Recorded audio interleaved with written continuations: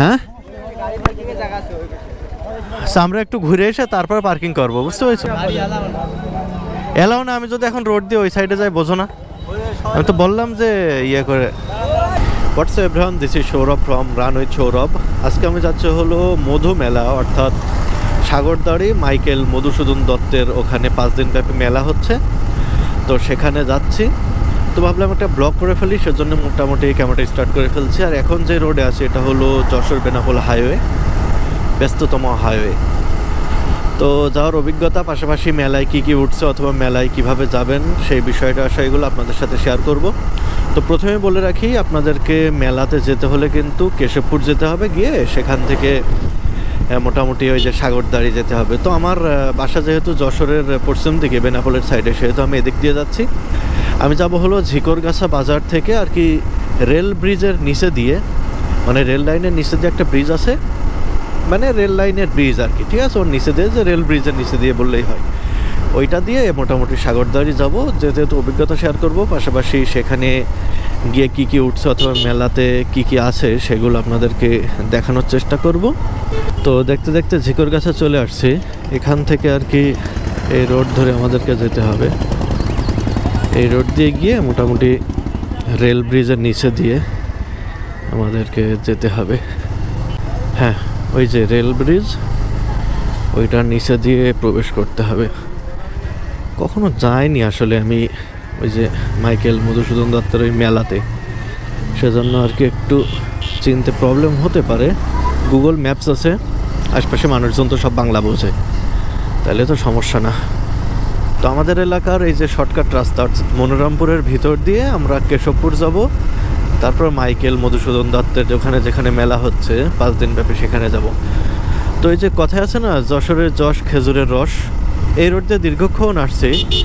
রোডের দুই ধারে শুধুমাত্র খেজুর গাছ আর খেজুর গাছ। অনেকক্ষণ শুধুমাত্র খেজুর গাছ গুনলাম। গুনে গুনে ভাবলাম, একটা ভিডিও করি, তখনই খেজুর গাছ শেষ হয়ে গেছে। অবশ্য সামনে আরও খেজুর গাছ আছে, প্রচুর খেজুর গাছ এদিকে। মোটামুটি অনেক খেজুরের আর কি রসগুড় উৎপন্ন হয়। তো গ্রামের আঁকা বাঁকা পথ পার হয়ে এখন মোটামুটি যশোর, মনিরামপুর, অর্থাৎ রাজগঞ্জ যে রোডটা সে রোডে উঠে গেছি বাট রোডের অবস্থা খুবই বাজে।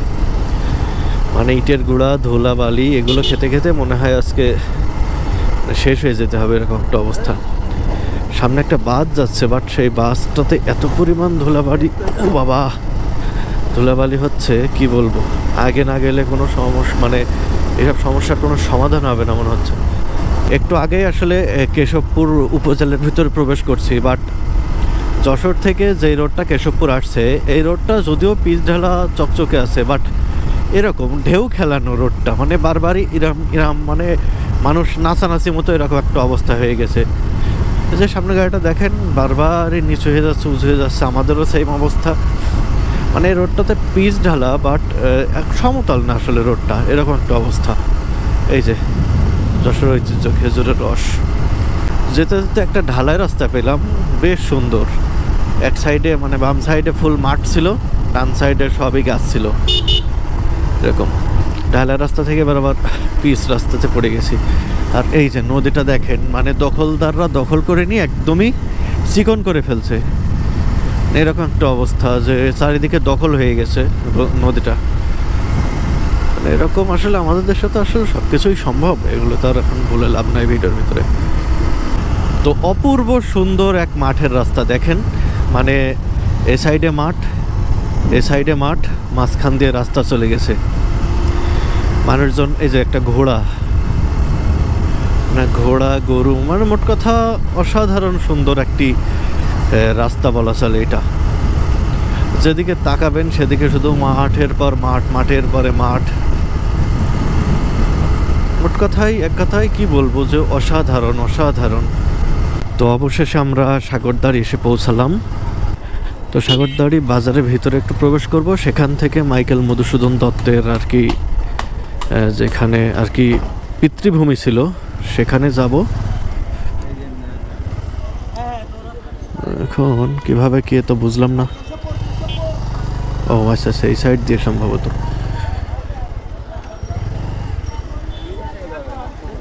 হ্যাঁ আমরা একটু ঘুরে এসে তারপর পার্কিং করব, বুঝতে পেরেছ? আমি মোটরসাইকেল একটা শর্ট নেব, নিয়ে এসে পার্কিং করে তারপর হেঁটে যাব, বুঝতে পেরেছ? এলাও না, আমি যদি এখন রোড দিয়ে ওই সাইডে যাই, বোঝো না। আমি তো বললাম যে ইয়ে করে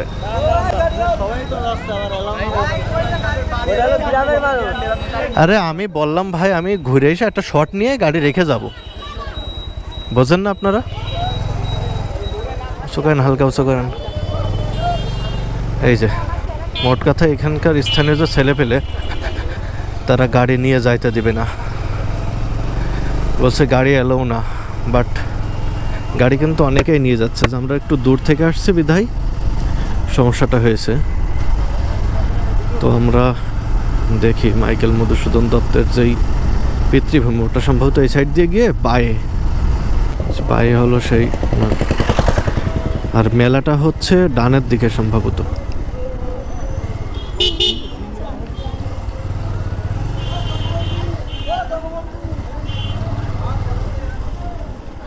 এই যে এখানে প্রবেশ করতে হয়। মোটর সাইকেল পার্কিং করার জায়গা আছে। আমি আগে নামি নেমে তারপরে দেখি মোটরসাইকেল ভিতরে পার্কিং করে আগে ভিতরে প্রবেশ করব। তারপরে মেলার ওখানে যাব।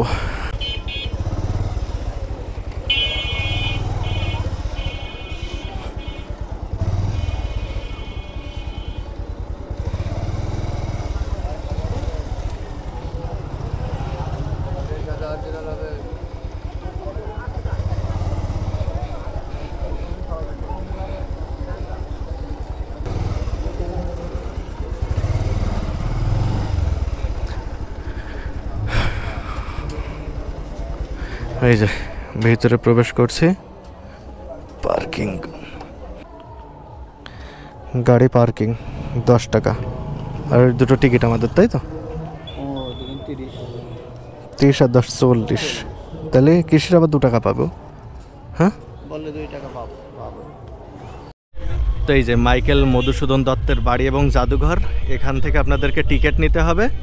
আর আপনার মোটরসাইকেল পার্কিং করতে চাইলেও করতে পারবেন। পার হেড টিকিট হলো পনেরো টাকা করে পিস আর মোটর সাইকেল হলো দশ টাকা, পাশাপাশি দেড় টাকা আপনার ভ্যাট দিতে হবে। এখানে মোটর সাইকেল পার্কিং। আর এই যে ওনাদের পৈতৃক বাড়ির যে ইয়ে আর কি পুকুর, সেটা হলো সামনে। এই যে স্বাগতম মধুপল্লীতে আপনাকে। তো চলুন ওনাদের বাড়িঘর সব ওই সাইডে, বিভিন্ন জায়গা আছে, সেখানে আপনাদেরকে একটু প্রবেশ করাই। পাশাপাশি অনেক ফুলের আর কি বাগান আছে সামনে। যেতে যেতে অনেক কথা হবে। পাশাপাশি কিছু এই যে মাইকেল মধুসূদন দত্তের বাড়ির ঠিকানাটা এখানে দেওয়া আছে বিষয় আশায় ইংলিশে। অত ভালো ইংলিশ পারি না বিধায়, পড়ার ইয়া নাই। তো এখানে আসলে একটা বিষয় মনে রাখতে হবে, ফুল বাগানের ভিতরে প্রবেশ এবং ছবি তোলা নিষেধ। পাশাপাশি মোটামুটি এই যে অনেক ফুলের গাছপালা সব আছে। চাষা একটা পতাকা নিয়ে আসছে আর কি। তো যাই সামনের দিকে। এই যে ওনার বাড়িতে ঢোকার প্রধান যে ফটক, সেটা হলো এটা। এটা দিয়ে ঢুকতে হবে। আর ওনার একটা প্রতিকৃতি অথবা ভাস্কর্য আছে এখানে। ভাস্কর্যের এখানে সবাই মোটামুটি ছবি উঠে তারপর হলো শ্রদ্ধাঞ্জলি দিচ্ছে এই যে ভাস্কর্যটা ওটা। পাশাপাশি ওনার এই যে সামনের যে বিল্ডিংটা এটা হলো কবির পৈতৃক কাছারি ভবন হ্যাঁ? এখানে হলো বিভিন্ন প্রত্নতান্ত্রিক নিদর্শন আছে। হ্যাঁ, ওটাই হলো বিষয় আর যে জাদুঘরটা সেটা সম্ভবত ওই সাইডের যে বিল্ডিংটা ওইটা হ্যাঁ বসতবাড়ি এবং আহ, জাদুঘর এটা মোটামুটি এখন মেলা উপলক্ষে বন্ধ আছে আমরা একটু জাদুঘরের দিকে যাব। তারপরে ভিতরে প্রবেশ করে দেখি। তো আমরা অলরেডি বসতবাড়ি এবং জাদুঘরে প্রবেশ করে ফেলছি। তো এখানে টিকিট পকেটে খুলেছে তো এই যে কোভিড যেইটা আর কি পারিবারিক পূজা মন্দির ছিল এইটা। এটার দোতলায় এক সময় ওঠার সুযোগ ছিল এই সিঁড়ি দিয়ে বাট এখন আর সে সুযোগটা নাই, সেখানে ফুলের চারা দিয়ে আর কি ওঠা নিষিদ্ধ করা হয়েছে। তো এখানে আসলে অনেক ফুলের আর কি বাগান পাশাপাশি মানে কি বলা ছিল অসাধারণ সুন্দর একটা জায়গা। তো আমরা আগে এটা দেখা শেষ করে তারপরে হলো যেখানে মেলা হচ্ছে, সেই মেলা প্রাঙ্গণে যাব।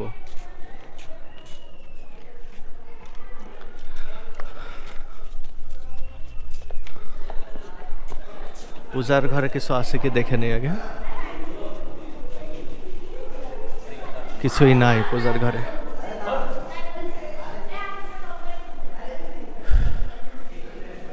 প্রাচীন নিদর্শন।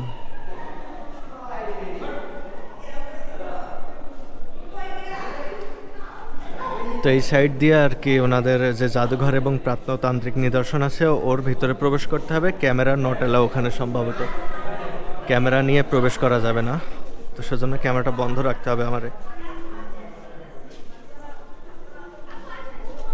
তো কবির পৈতৃক কাছারি ভবনের পাশ দিয়েই একটা গেট চলে গেছে। আসলে আইগের আমলের বাড়িঘরে কোথায়, কীভাবে, কখন যে গেট করছে, তারা হয়তো নিজেরাও জানে না। বিভিন্ন কারণে, তৎকালীন সময় বিভিন্ন সমস্যার কারণে কিন্তু বিভিন্ন গেট টেট করা হতো, অথবা যে মানে পকেট গেট বলেন, অথবা পিছনের রাস্তা বলেন, এরকম করা হতো। এটা হলো কবির কাকার বাড়ি, মাইকেল মধুসূদন দত্তের কাকার বাড়ি। ওটা লেখা আছে, এটা হয়তো খোলা হয় না। আর এটা হলো ব্যাক সাইড অর্থাৎ পিছনের সাইড এই সাইডে খুব বেশি কিছু নাই। এর আগে একবার আসছিলাম, তখনকার কিছু কথা মনে পড়ছে। হ্যাঁ ব্যাক সাইড আসলে খুব বেশি কিছু নাই। এটা হলো সাগরদাড়ি সরকার প্রাথমিক বিদ্যালয়। এটা। আর ব্যাক সাইডে তেমন কিছু নাই। ওই সাইডে একটা পুকুর আছে আর এই সাইডে আর একটা পুকুর আছে। আর বাদ বাকি এই যে গণশৌচাগার মানে টয়লেট আর কি, ওটা হলো এই সাইডে আর কবিদের আর কি যে পুকুর, পুকুরের ওখানে আমি আপনাদেরকে দেখাবো। সামনে হলো কবিদের সেই পুকুর। তো এই যে, এটা হলো কবিদের পুকুর। বড় বড় মাছ আছে দেখছি। ওই যে ক্যামেরাতে বোঝা যাচ্ছে কিনা জানে না তবে মাছ নড়ছে। হ্যাঁ বেশ বড় বড় মাছ। আর এটা হলো পুকুরের যে ইয়ে, ঘাট আর কি। কবির পুকুর ঘাট।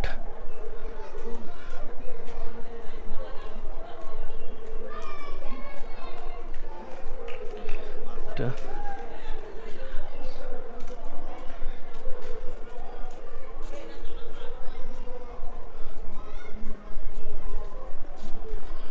তো এই যে আম গাছের নিচে আর কি পুকুর ঘাট। আপনার চাইলে বেশ সময় উপভোগ করতে পারেন এখানে। তো এতক্ষণ আমরা দেখলাম হলো মাইকেল মধুসূদন দত্তের পৈতৃক হ্যাঁ, মানে বাড়ি অর্থাৎ তার বাসায়। এখন যাব হলো মেলা প্রাঙ্গণে এই যে প্রবেশদ্বার। তো মেলা প্রাঙ্গণে যেটা মূলত সচরাচর থাকে বিভিন্ন ধরনের জিনিস ওঠে আর কি হ্যাঁ। তো সেখানে যাচ্ছে। এই যে, মধুমেলা দু হাজার তেইশ। এখানে যেখানে আর কি ইয়া উঠছে যে বিভিন্ন ধরনের দোকানপাট ওঠে অথবা বিভিন্ন খাবারের দোকান, এগুলো। এখানে এসে আপনার চাইলে কিন্তু ছবি উঠতে পারবেন। তো এখানে মূলত যেই প্রোগ্রামগুলো হয়, সে প্রোগ্রামের সামিয়ানা টাঙানো হয়েছে। এই যে এখানে সাংস্কৃতিক যে অনুষ্ঠানগুলো অথবা উদ্বোধন অনুষ্ঠান হয়েছিল সেটার বিষয়ে প্রত্যেক দিন বিকালের দিকে আর কি বিভিন্ন অনুষ্ঠান আর কি এখানে হয়। তো যেই মার্কেটগুলো সচরাচর সেগুলো হলো ওই সাইড দিয়ে, ওই সাইড দিয়ে হ্যাঁ? তো চলেন যাই দেখি। আসলে মেলাতেই সচরাচর যে মেলাগুলোতে যেই ধরনের জিনিসগুলো থাকে, এই মেলাতেও ব্যতিক্রম না, সেই ধরনের জিনিসই আছে।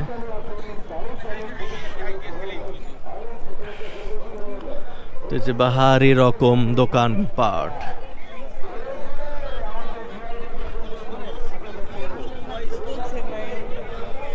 তো এই যে, কি দেখাবো? মেলাতে অনেক কিছু থাকে।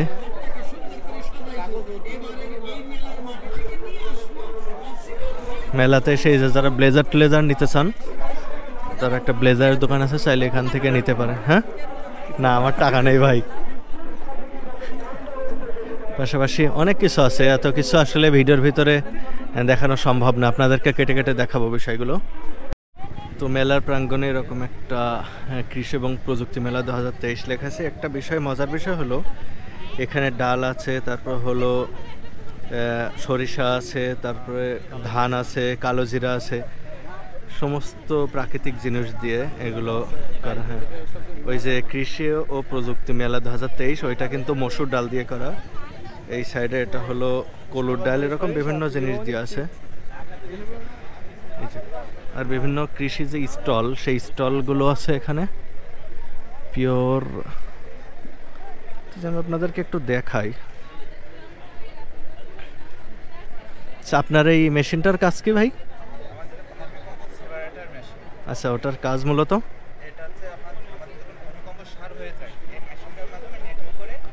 ও আচ্ছা আচ্ছা। আলাদা করা হয়। থ্যাংক ইউ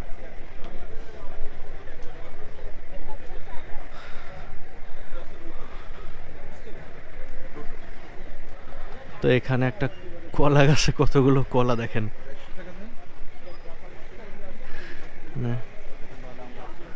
হ্যাঁ হ্যাঁ।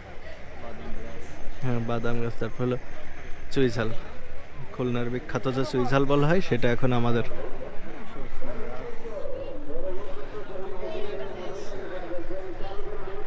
কামরাঙ্গা হ্যাঁ। সবগুলোই পরিচিত আর কি। মানকসু না না। সব লেখা আছে দেখ। মূলা। মূলার সাইজ দেখেন। বাপের জীবনে এরকম বড় মূলা দেখিনি। আচ্ছা। মান কসু এটা। লাউ, কুমড়া মানে বাহারের রকম সবজি। এটা কিন্তু গোল ফল, সুন্দরবনের হ্যাঁ।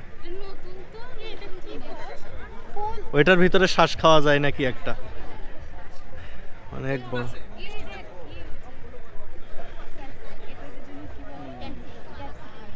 হ্যাঁ এই যে ক্যাপসিকাম এটা গ্রিন এই যে ওলকপির সাইজ দেখেন। বেশ বড় বড় ওলকপি। নারিকেল তাল অসময়ের তাল। তো আপনারা যারা ফুলের চারা নিতে চান, এগুলো কিন্তু বিক্রির জন্য চাইলে এখান থেকে কিনে নিতে পারেন। মানে শুধুমাত্র যে গোলাপ সেটা না, বিভিন্ন ধরনের গাছপালা আছে। বিশেষ করে এই যে চুইঝাল মূল্য একশো টাকা করে। ও আচ্ছা আচ্ছা তাহলে নব্বই টাকা পড়বে। এরকম। তো মেলার প্রাঙ্গণে কিন্তু এই ধরনের অনেক জিনিসপত্র আপনারা পাবেন বাচ্চাদের খেলনা হিসেবে। তো একটা খেলা দেখব যে মোটর সাইকেল এবং প্রাইভেট কার কীভাবে দুই হাত ছেড়ে দিয়ে আর কি চালাই তো পঞ্চাশ টাকায় যে প্রবেশ পথে মূল্য পঞ্চাশ টাকা। তো প্রবেশ করতে হবে। টিকিট নেওয়া হয়ে গেছে। টিকিট নেওয়া হয়ে গেছে না? হ্যাঁ টিকিট নেওয়া শেষ। প্রবেশ করব আমরা। বাবা, এই সব যদি ভেঙে ছিঁড়ে পড়ি না, শেষ হয়ে যাবে। এই যে প্রাইভেট কার আর মোটর সাইকেল এইগুলো আর কি চলবে, এই কাঠের উপর দিয়ে চলবে। মেলায় এসে নৌকাতে চড়ে বিপদে আছে কিছু লোকজন। ক্যাকামেকি করছে সব? তো মেলার প্রাঙ্গণে আসলে এই যে নাগরদোলা, এগুলো কিন্তু সচরাচর হরহামেশায় চোখে পড়ে। অনেকে উঠে বেশ ক্যাকামেকি করছে। বিষয়টা বেশ ভালো লাগল। এই যে, মেলার প্রাঙ্গণ, অনেক কিছু আছে। ওইভাবে বলা মুশকিল।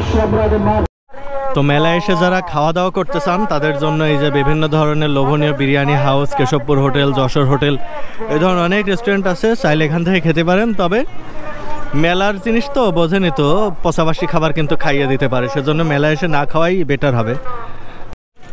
তো মেলার প্রাঙ্গণে অলিম্পিক সার্কাস বাহিনী চলে আসছে। সার্কাসের একটা শিডিউল টাইম আছে, সেজন্য মোটামুটি সব সময় সার্কাস হয় না। শিডিউল টাইম দিনের এই এই সময়গুলোতে হবে। তো সেজন্য আমরা প্রবেশ করতে পারছি না, কারণ হাতে সময়ের স্বল্পতা। আমরা শুধুমাত্র ওখানে ওই যে মোটর সাইকেল সাইকেলের যে প্রোগ্রাম ওইটা দেখব। তো মেলার প্রাঙ্গণ ঘোরা শেষ। মোটামুটি এখন দুপুর হয়ে গেছে বাসার দিকে যাব। সেজন্য যেতে যেতে আরেকটা জায়গা হয়তো আজকের ভিডিওতে কাভার দিতে পারি। সেটা হলো ওই যে রাজগঞ্জ কি ব্রিজ যেন সাজেন? ঝাপা। বাওড় আর কি। প্লাস্টিকের ব্যারেল দিয়ে তৈরি আর কি ভাসমান যে সেতুটা সেটা আর কি। তো মাইকেল মধুসূদন দত্তের যে মেলা মধুমেলা সেটা দেখা শেষ করে এখন বাড়ির পথে রওনা দিয়েছি। তো ওখানে ঘোরাঘুরির অভিজ্ঞতা একটু শেয়ার করতেছে আপনাদের সাথে। ওখানে মূলত বিকাল থেকে আর কি সন্ধ্যার পর পর্যন্ত, রাত্রির দিকে আর কি মোটামুটি মেলাটা জমজমাট থাকে। সকাল থেকে দুপুর পর্যন্ত খুব বেশি মানুষ আনাগোনা হয় না। আর দ্বিতীয় যে বিষয়, সেই বিষয়টা একটু শেয়ার করতে চাই যে ওখানে যে মেলাটা বসছে, ওখানে ওই কিছু কসমেটিক্সের দোকান, কিছু খাওয়া দাওয়ার দোকানপাট আর কি খানাপিনা করা যাবে। তারপর হলো ওই মিষ্টি মিঠাইয়ের দোকান আর কিছু ওই যে সার্কাস পার্টি বলেন অথবা যে খেলাধুলা, নাগরদোলা, তারপর হলো ওই যে নৌকা মতো একটা দোলাদুলি, তারপর ওই যে মোটরসাইকেলের গেম টেম এই ধরনের ইয়াগুলো আসছে। আর তৃতীয় যে বিষয়, সেটা হলো যে ওখানে যারা যাবেন, অধিকাংশ সময় বিকালে যাওয়ার চেষ্টা করবেন, তাহলে বেশ জমজমাট মেলাটা আপনারা উপভোগ করতে পারবেন, মধুমেলা। আর মাইকেল মধুসূদন দত্তের যে পিতৃনিবাস, অর্থাৎ তার বাড়ি, ওই বাড়িটা হয়তো আপনারা ভিডিওর ভিতরে দেখছেন। ওখানে আসলে দেখার মতো কিছু আছে, অনেক ফুল গাছ টাছ আছে। তারপর দ্বিতীয়ত যে বিষয় সেটা হলো যে তার মানে প্রাত্নতান্ত্রিক নিদর্শন, তার আমলে ব্যবহৃত কিছু জিনিসপত্র আছে, অথবা তার স্মৃতি বিজড়িত যে জিনিসগুলো, সেগুলো আর কি ওখানে আছে। এই হলো বিষয়